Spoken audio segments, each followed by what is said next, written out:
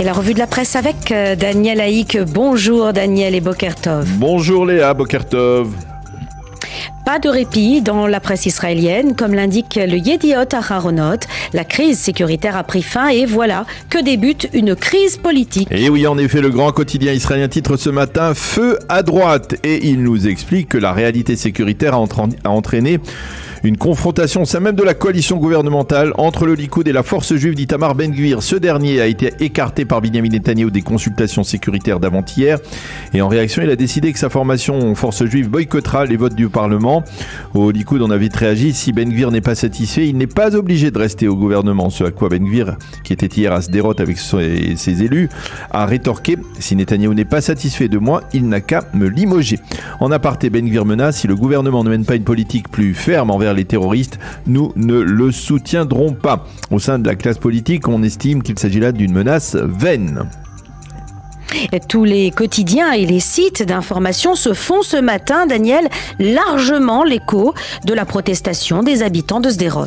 Oui, euh, les habitants de Sderot qui déclarent ce, ce n'est pas la politique que doit mener un gouvernement de droite. Ils ont affirmé, euh, ces habitants de Sderot, leur euh, protestation, leur mécontentement face à la politique menée par le gouvernement. Ils ont manifesté hier soir spontanément dans le centre de la localité. C'est le Hamas qui décide quand il déclenche les hostilités et quand il les termine, c'est inacceptable, affirment euh, les habitants de Sderot. Certains d'entre eux qui ont voté en faveur du gouvernement de droite ne cachent pas leur déception et fustigent Benjamin Netanyahu face à la réaction laxiste de Tsahal au tir de dizaines de roquettes dans la journée de mardi.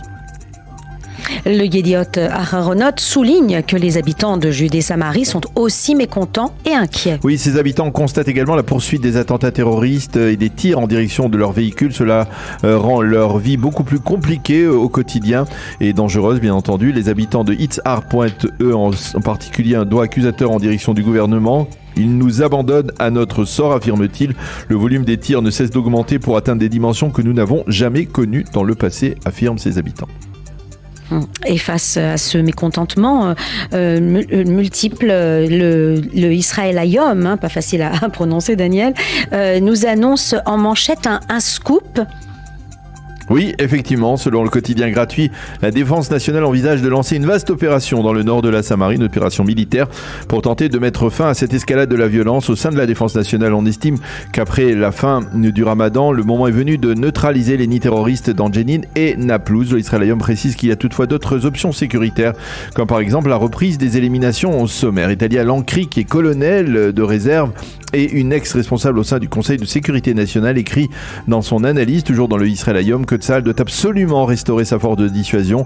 Pour cela, il faut une opération de grande envergure qui inclut l'élimination des chefs du Hamas et la destruction d'infrastructures terroristes les quotidiens et les sites d'information soulignent qu'il n'y a pas que la force juive euh, qui est mécontente euh, de la politique du gouvernement. Oui, en effet, les médias se font également l'écho de l'ultimatum lancé par les orthodoxes ashkénazes au Premier ministre. Si la loi sur l'enrôlement des élèves des yeshivot n'est pas votée avant le budget, eh bien les députés du judaïsme de la Torah quitteront le gouvernement ou tout simplement ne voteront pas en faveur du budget. On pensait en début de semaine que Netanyahou avait écarté cette menace.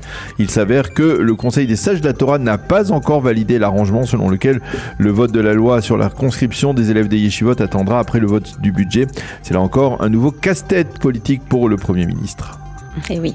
Alors qu'écrivent les éditorialistes autour de ces crises qui ébranlent la coalition? Odette Shalom dans le Yediot Aharonot écrit que ceux qui ont voté en faveur d'Itamar Ben-Gvir en pensant qu'il était le sauveur qui allait instaurer la sécurité, restaurer la sécurité personnelle et la gouvernance doivent comprendre qu'ils se sont fait avoir. Les patrons de la police ont compris avec qui ils ont affaire. Netanyahu préfère le tenir à l'écart des consultations sécuritaires.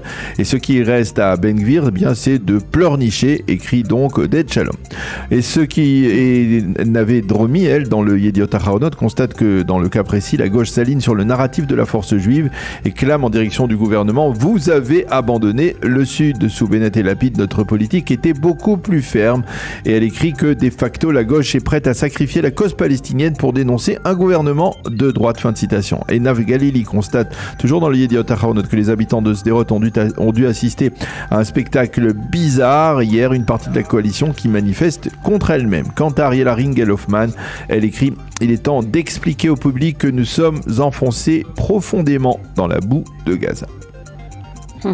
Et les éditorialistes du Israël Ayom et du Haaretz commentent aussi ces développements. Oui, Ariel Kahana dans le Israël Ayom écrit que le jardin d'enfants d'Itamar Ben-Gvir est en train d'affaiblir le gouvernement et Ben-Gvir doit comprendre qu'au bout du compte, ce qu'il obtiendra, ce sera la chute du gouvernement et l'arrivée d'un gouvernement qui sera conduit par Benny Gantz dans le meilleur des cas. Amnon Lord, lui aussi, dans le, Israël Ayom, admet que la riposte de Tsahal était insuffisante mardi et que l'objectif des autorités était de ne pas aller vers une escalade. Enfin, Amira Haas, la journaliste et militante d'extrême gauche, écrit dans le Haaretz, euh, elle revient sur la mort de Khader Adnan, le leader du djihad islamique, et nous livre une sorte d'hommage véritable à ce terroriste qui, écrit-elle, a mené, je, la cite, une campagne de protestation courageuse et juste.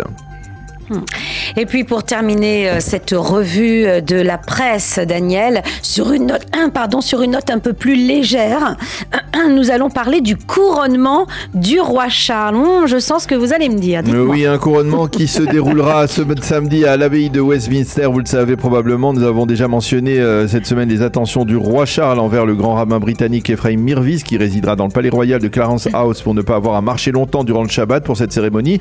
On sait également que l'huile d'onction du roi proviendra du Mont des Oliviers à Jérusalem, mais ce que la presse ah italienne nous apprend, eh bien, c'est que d'une famille juive, la famille Kashket, qui va fournir les tenues de cérémonie de la famille royale et en particulier du roi Charles durant cette cérémonie de couronnement.